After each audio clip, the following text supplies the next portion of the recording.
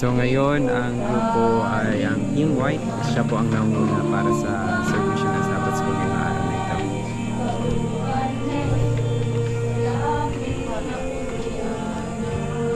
Ito yung Petra, si Petra, siya yung nanakit sa inyo.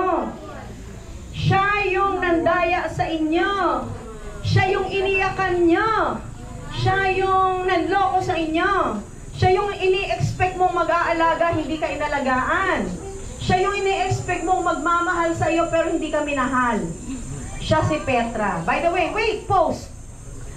Ang tao, human, Nag-start sila na mag-seminar. ang masasabi ko lang sa ah, sa retreat natin ito ay very successful talaga talaga hindi lang sa sa bilang tao na mga ano kundi may mga kabuluhan rin na makikita natin sa mga aral mula sa Diyos napakaganda ng ating speaker talagang related talaga sa atin kumbaga may kumbaga bagaman tayo ay dumaranas ng pananakit tayo rin ay nakakasakit rin sa ibang tao so nawa ang retreat na ito ay maging makabuluhan para may apply natin sa bawat isa sa atin at sa pang-araw-araw natin ng mga buhay.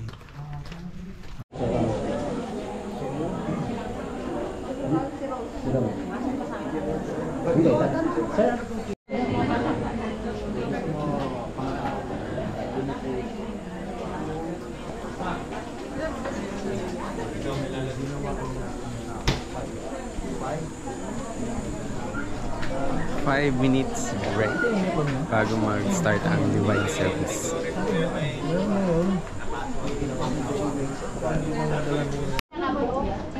Hi, Sarah. Hi! Hi, So, welcome to my vlog. Kamusta Happy naman Sabbath. ang family retreat? Ha, Eto, family is well. Masaya ka ba? Na yeah. naka-attend ka? Mga 10 over 10. Kamusta si Ate Mau? Hi! We're beautiful, Yeah. confident, and fulfilled. Na-bless kami sa message kanina. From Petra, we realize we are Petra 2.2 and now we forgive and forget. Sana ma-apply na maging Petra 3.0. Amen. I'm the Petra. Petra that don't forget, but I forgive. Ah, for, forgive, pero not forget. Yes. We, syempre, the lesson, the lesson should not be forgotten. Because, yeah, the, the memory is still there. So, in next time, we know, we know, We know better. We know better. And never again. How to handle oh, yeah. uh, uh, anger issue, Yeah. yung depression I issue, can and influence myself, not the others. Maybe, maybe the others. maybe others. Maybe others. Eh, ma malalagay ba yan? Sisika tayo. Cut, cut. Haba-haba ito. Hi, Dong Yen. Ano masasabi mo? ng May masasabi ka ba? 11.59. Sa 12. O, di balik na kayo. Pila ba? Ayun pa nakabuka. Pila doon sa banyo? Babae pala to? Sige, tapos na. Balik na din eh.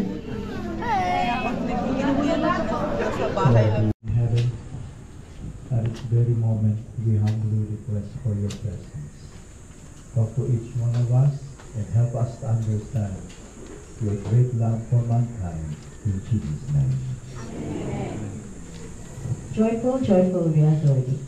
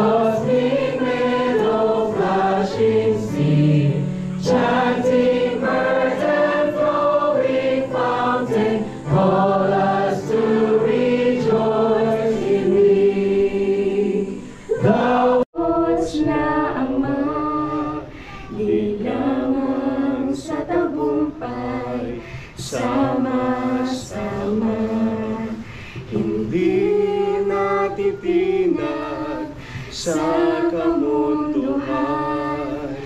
Pamilyang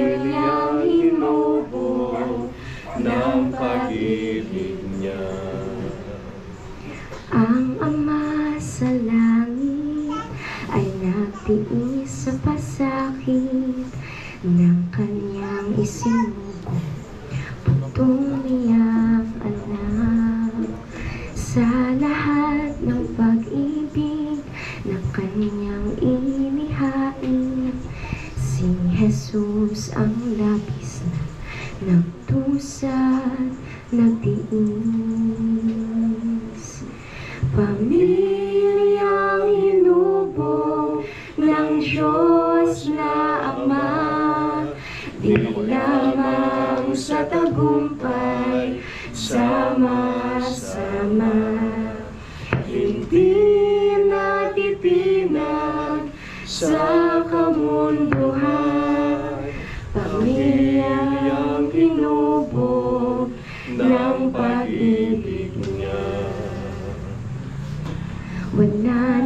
Hihigit pa sa isang magulang na mapagpatawad sa kanyang mga anak. Nagdiriwang ang langit sa pagpatak ng luha ng isang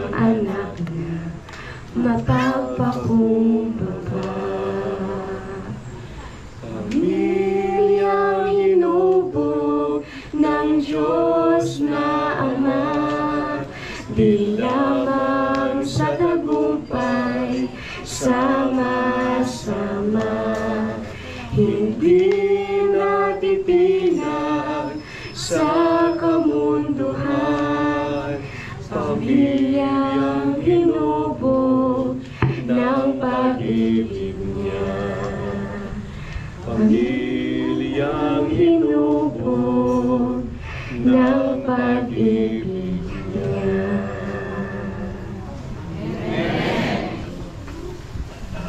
Ah, inom naman kayo, pre. Maghintay lang ang kayo. Lunchtime, Sabado ng tanghali. At mga naghihintay po. Yan talaga. Yan po, nakapila po. Ang ganda na sa bayan niya eh. Wala nang Hello, lunchtime. Lunchtime po. Gutom, gutom. Hot. Sa gitna ay yung mga Wow, senior. iba talaga. Lunchtime, lunchtime. Ayan po. Lunchtime. tingin, tingin, tingin ng mga gutom. tingin ng mga gutom. Ayan, gutom, gutom na daw. Ayan. Hey guys, welcome to my vlog. Ba?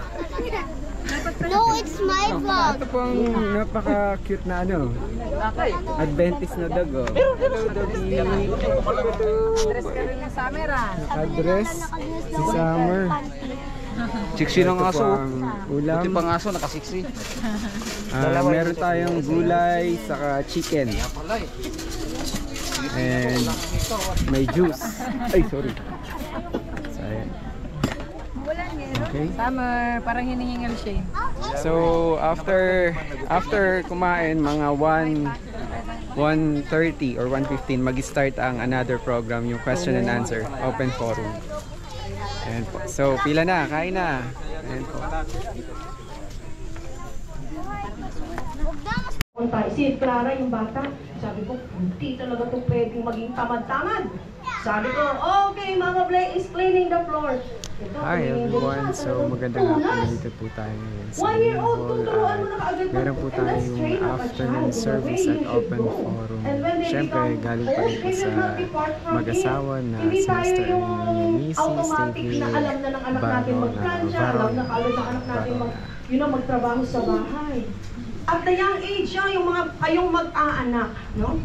Kayong mag-aanak talagang todong pagdadasal nyo sa mga anak nyo na susunod na generation. But cooking, Born leader who gets things done.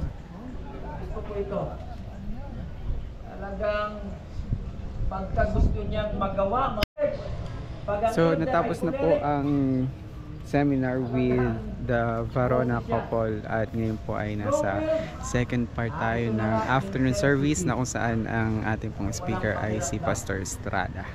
And ngayon ay tinatalakay na niya ang tungkol sa mga temperament. So, merong choleric, sanguine, phlegmatic, at saka isa pa. Malalaman natin yan. Ayan. At abangan nyo ang games mamaya, di ba? May water games mamaya. So after ng dinner ngayong Sabado. So may water games tayo. Ayan. Choleric, sanguine, phlegmatic, and melancholic. Ayan yung tinatalakay ni Pastor Estrada sa ngayon.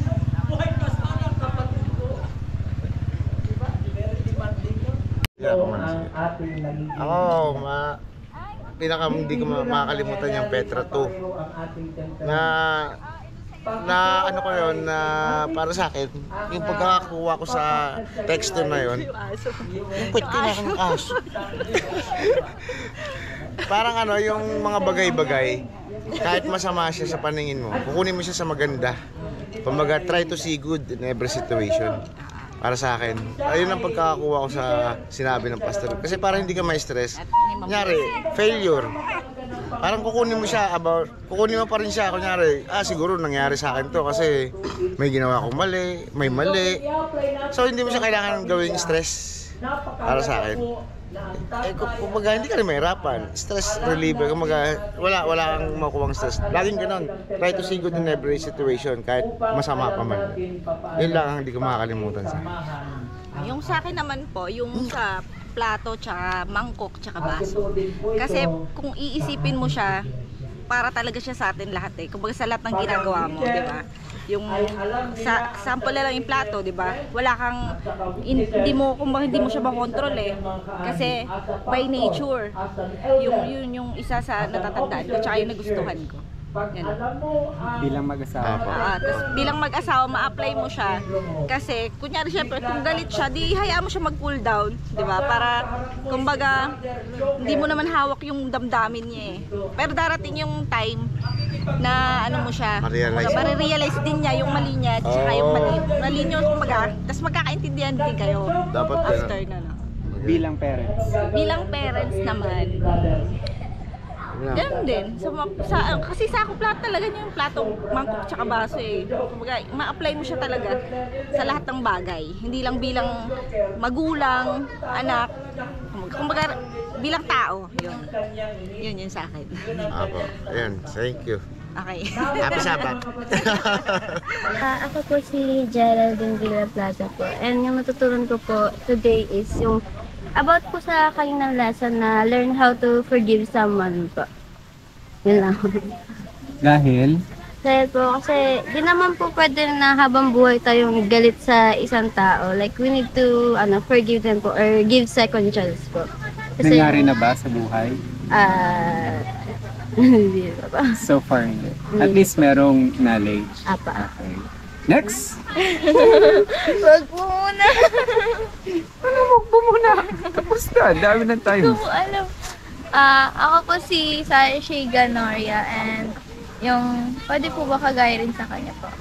Ah, tapos explain mo. Yung natutunan ko po sa ano, yung na ano ko pong knowledge is how to forgive someone. Ah, yung hindi po dapat po ah, hindi po natin sila hihintayin na sila mismo yung mag-sorry sa atin para patawarin po natin sila. And time time heals naman po siguro kasi ano, ah, lahat naman po na nahihilom sa tamang panahon at sa tamang paraan. Like kailangan lang po, like kailangan lang po natin ah, pakawalan yung yung sakit o pain na nararamdaman natin towards them po. Ayun lang po. Talino naman pala itong mga to. Oh, eto, last! Dinis!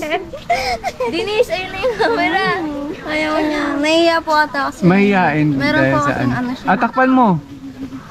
Ayaw. O sige, pakilabla mo na lang. Siya po. Ah, si Denise Kate Cruz po. Ah, okay. May nakwento ba siya sa inyo tungkol sa mga natutunan niya? Ano yung sa tingin mo yung inuulit niya sa inyo? Like yung last night po, yung parang sa donut syndrome po, like, ano, every people po, may emptiness po na parang kailangan ng isang tao na mag-feel doon. Parang sa mag-asawa po doon. Yung po yung sinasabi ko the like donut syndrome daw po. Ah, okay. Ikaw! Ba't doon?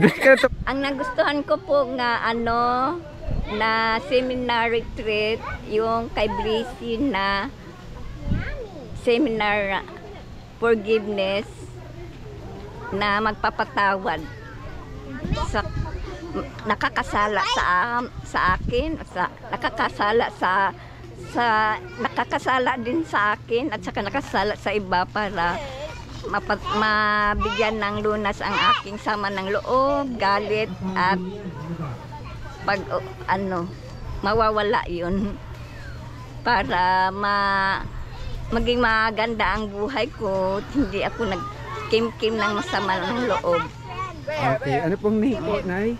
ha? Ako po si... Ako po si Miss Ma Rocamora Loret Miss Ma Loreto Rocamora Ilang taon na sa po? Las Piñas 63 years old from Las Piñas City Maraming salamat. Maraming salamat po.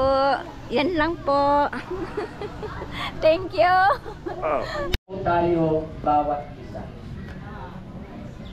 Wala pong magkatulad. Kahit anak nga natin eh, ang tinatawag natin yung Ako po ay si ano, Edgardo Alvarez Gubatanga sa si Church din po. Papasalamat po ako o kam- at nakarating dito sa lugar ng ano, sa Batangas, San Juan, Batangas. Napakagandang lugar, napakaganda, napakagandang resort po. Yung paligid, maganda. At masabi nga natin eh, pwede natin i-apply sa buhay natin tong makikita natin sa kapaligiran dahil sa mga natures, mga tanim. Talaga makita mo sa, sa nagmay-ari nito na talagang mahal niya yung kapaligiran at saka ano, talagang nagtatanim siya. Parang hinahanda din niya yung sarili niya na pag tumanda na siya, talaga may maaani siya ng mga bunga ng kanya pinaghirapan. Kaya kung tayo ay may naitatabi kung ano man, pwede po natin gawin yun na hanggat maaga, bumili din tayo ng ganitong lupa na magandang lugar at, pum, at taniman natin ng mga magagandang tanim para pagdating ng panahon o pagtanda natin mayroon tayong maaani may mapapasyalan yung mga anak natin mga apo natin ayun lang po salamat and God bless side.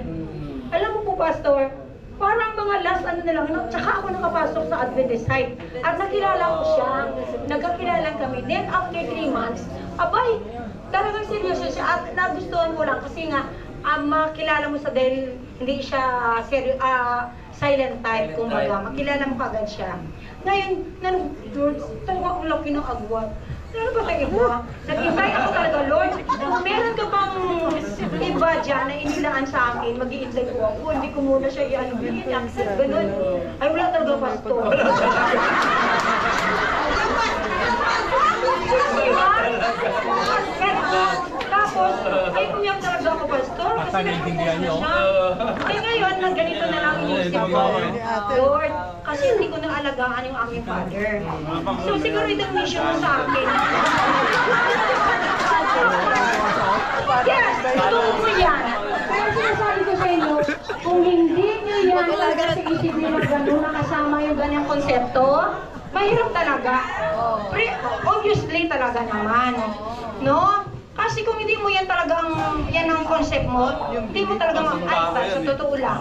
Ganun tagal. At saka, kawawa naman. Kaya sabi ko, Lord, yun na lang talaga, mission ko na lang din, na alagaan ko na lang siya. Siyempre, pagmamahal mo. Kasi- Missionary pala. ngayon ang tanong niya, Rose, you ask, um, what can you say about uh, differences about cultural marriages? Yun. Cultural marriages. Kasi nga naman, marami, hindi naman siguro na marami, no? Ah, some, di ba, sa ating mga, ano, Pilipinas, na nag, nag, ah, ano din na, magkaroon din ng apam. Yung ganon. So, madali lang yun. Kaya sabi nga namin, huwag basta-basta ganon. Dapat alamin nyo muna. So, yun nga, ano ang uh, differences about cultural marriages. Ayan, salamat. Hirap. O, Pastor, sagutin mo yan ng English kasi tanong yan ni ano eh, ni Brother Chip. Salamat tayo dito ah. Kasi ba yung dictionary? Pwede bang ah, pass muna?